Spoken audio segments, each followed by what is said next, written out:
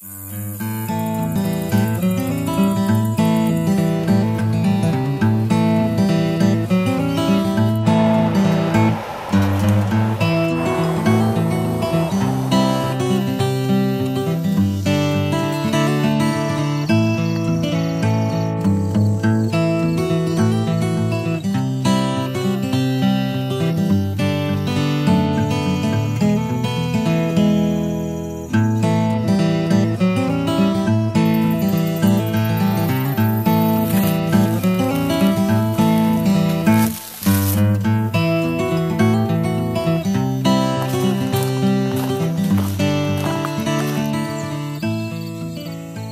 everybody, it's the Saturday Adventure, and here I am, uh, the Buffalo River Trail.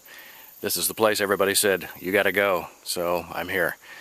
Uh, it is, uh, it's beautiful. I think I'm a little bit early in the season. There are a lot of prairie grasses on the trails and the glade areas, but, uh, you know, uh, no step for a stepper. So uh, there's a few bugs out, and might be a little more comfortable in another 30 days or so, but for right now, uh, I'm enjoying the heck out of this. There are some beautiful glade areas and uh, which offer some really nice vistas of the mountains in this area. And uh, the trail is uh, well maintained, well marked.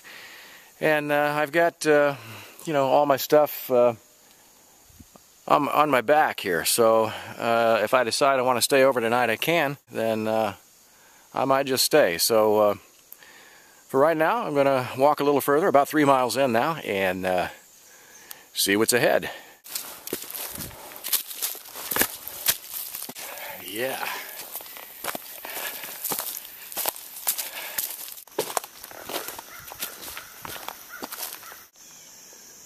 Well, this looks like an awesome place to camp.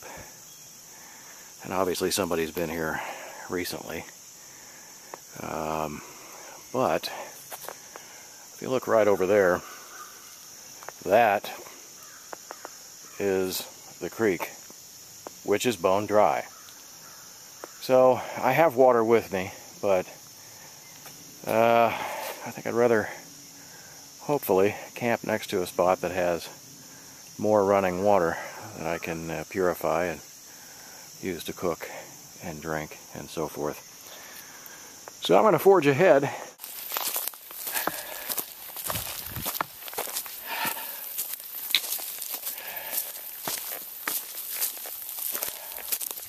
Something I've noticed about this trail